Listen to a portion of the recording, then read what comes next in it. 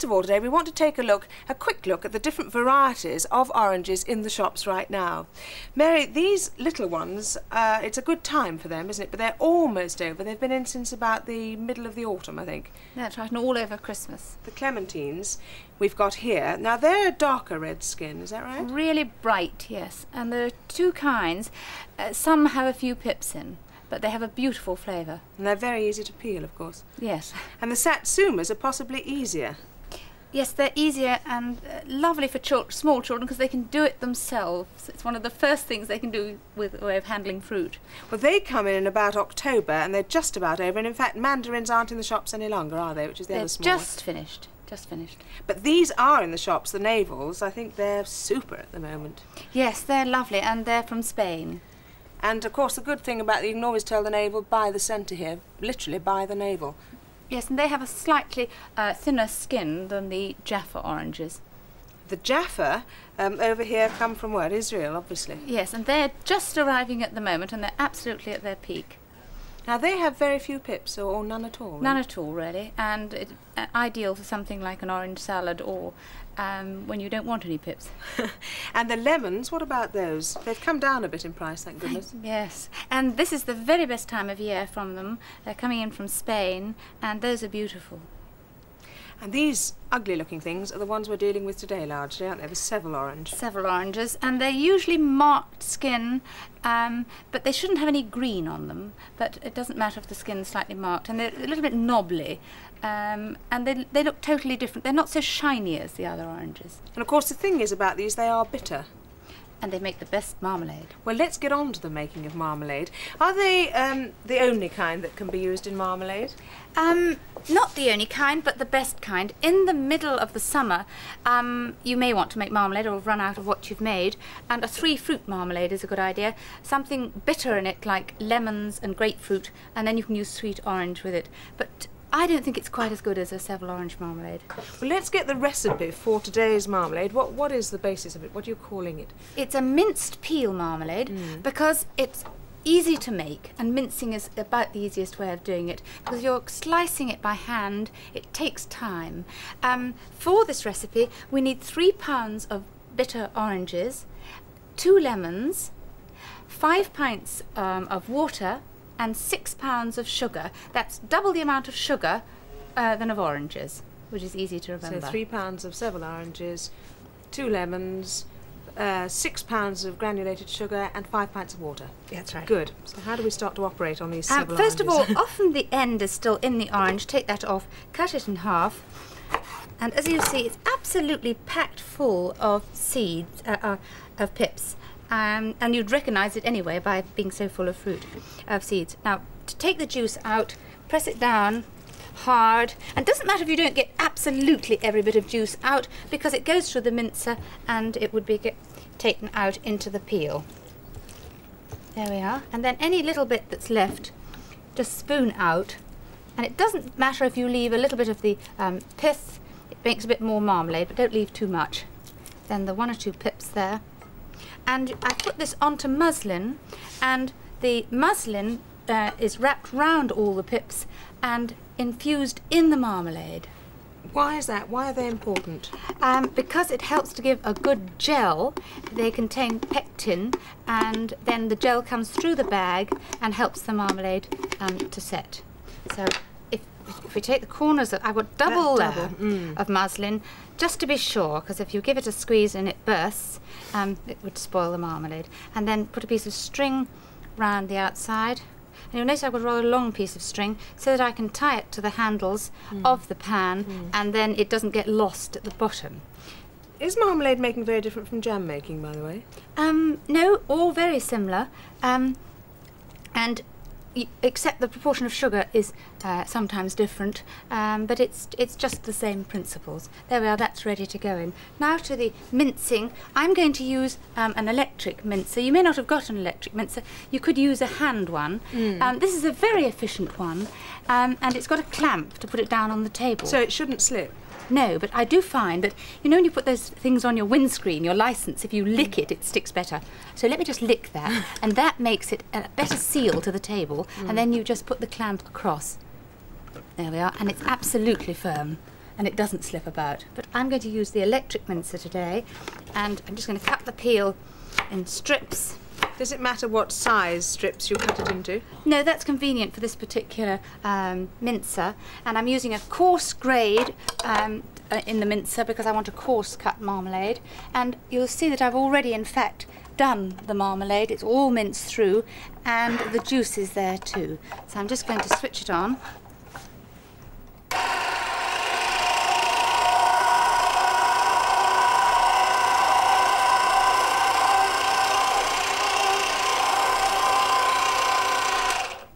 And then the remainder of the juice from the lemon squeezer in with it too.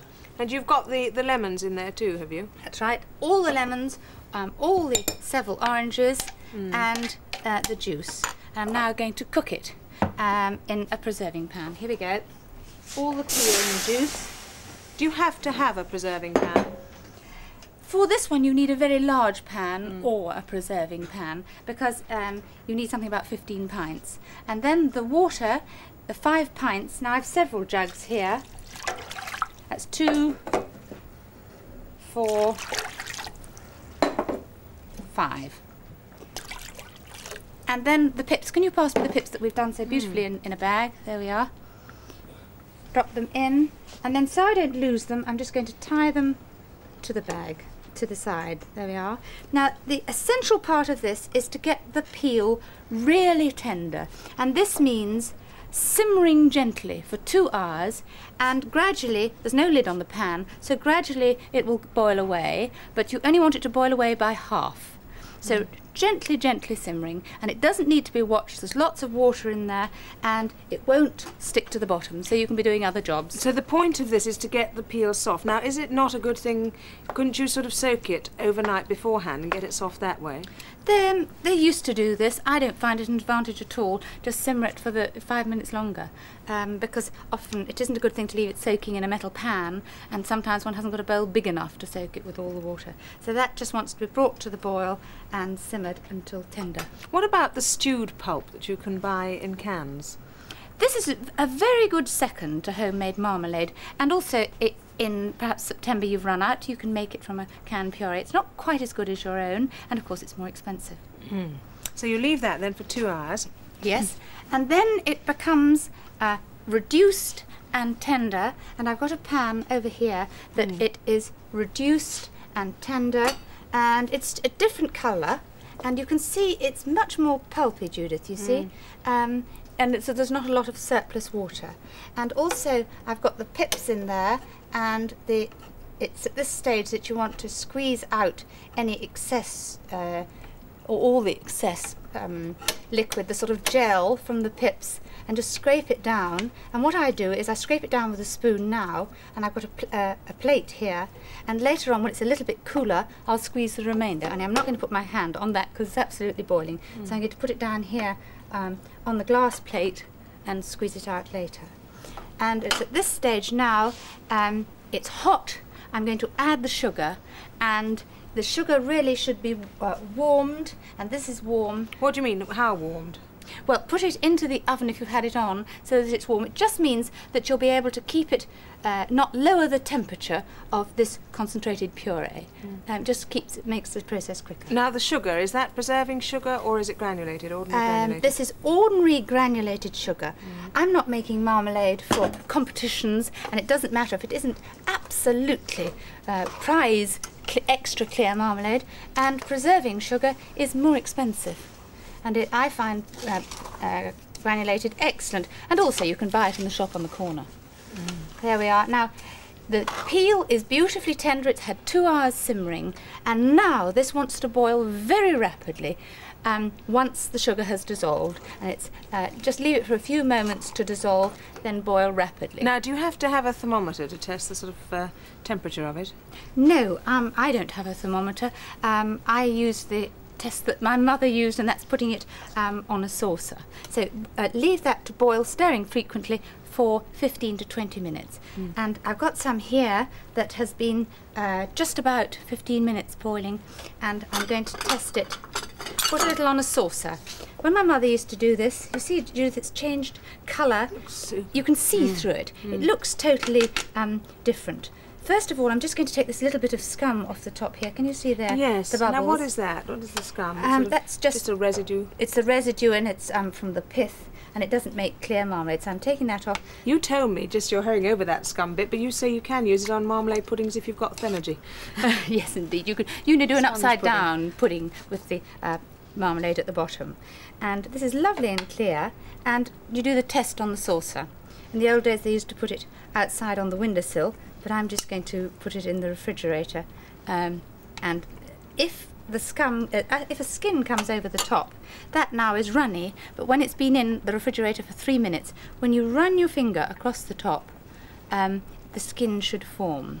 So I'm going to turn that off because I'm sure it's done uh, because it's had the allocated time of boiling uh, 15 to 20 minutes. The damage is done by too long a boiling, then it gets dark and it gets past the point of setting. And just before you move over to the veg, another bit of damage is adding the sugar too soon, isn't it, on that other stage? Yes, if you si- you must simmer the um, oranges peel for two hours until it's really tender because if you add the sugar too soon, it'll make the peel tough and it's horrid to come across those leathery pieces. Too hard. Yes, Right, you put that in the fridge now then Yes. for three minutes, did you say? just about three minutes. Hmm.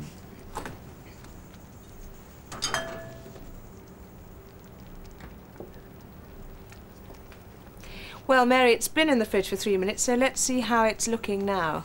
Oh, good. It's fine. Is Got it? Yes. Relief, relief. Now you see that there. Now you see that skin, Judith, across the hmm. top. Hmm. That's how it should be. It's ready um, and going to set. And that's the best test. A thermometer, it's supposed to be 220. In some marmalades, it's 221. And who's got a thermometer anyway? Um, and then it has to be cooled before you actually put it into the pots. now, how long do you suggest you leave it to cool? Um, about 10 minutes. Um, this is because, one, you would crack your jars if you put boiling marmalade in it, and two, um, you would find that the peel would rise to the top. So, to have a, a, a time cooling is essential. So this is now cooled, uh, Mary, and it is ready for putting in the jars, is it? Yes, that's quite ready. And I've got an old jug that I do this with. Um, uh, it's got a nice pouring lip, which is uh, an essential. A cup's all right, but it doesn't come out quite so easily. You just shovel it into there, I see. That's right. And because it's lost temperature, it's just about over 140, I can still um, hold the jar. I rest it on the side. And it's a good idea, if you're the clumsy sort, to do this over newspaper.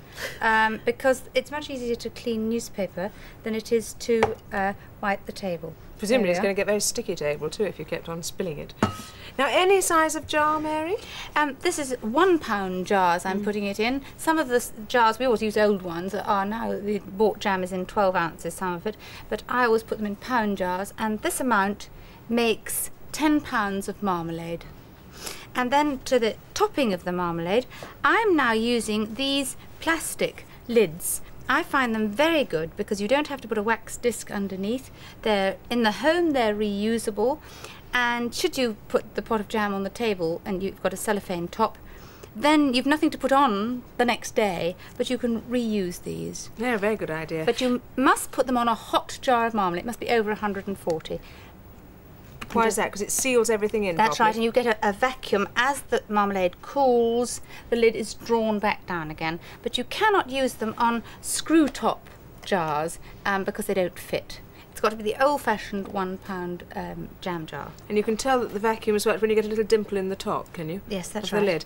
But if you have got the screw top jars then, which you have been storing up to use for your marmalade, Mm-hmm. you go back to what? The wax, the paper, and the Yes, elastic bands and Um, things. Yes, and to do that, I thought that the old-fashioned way of doing it um, with uh, dipping on a saucer, really, surely one should do it with a pastry brush. But in fact, I'll d- um, do it on uh, one of these. Show you again. Um, you, the old-fashioned uh, way of just dipping it into a saucer um, is very efficient. Um, and a, a pastry brush isn't quicker. So put a disc in the top, a wax disc, and then dip the um, cellophane into water until it's damp, and then the wet side uppermost, like that, and then just press it round. And it doesn't matter if it's just a little bit creased on top. As it cools, you'll find that um, it will grip. and become absolutely tight. That keeps it airtight then, obviously. Yes. Mm. And then I've put labels. Um, I've used some rather uh, attractive ones with a nice line around the outside. It's essential to put the year on it so that you use it up within the year. Does it ever go sugary? I mean, I sometimes find uh, marmalade in the larder which has gone rather sugary. Is that because I've left the lid off it, obviously? It's not well sealed or the wrong proportion um, of sugar. Um, but this marmalade I don't think you'll find will go sugary at all. what about the price, the relative price of this uh, marmalade? Um, the mince peel marmalade is seven pence a pound to make. That is if you've paid uh, ten pence for your oranges. You may pay a little bit more, then it would be a little bit more. In the markets um, recently, they've been about ten pence.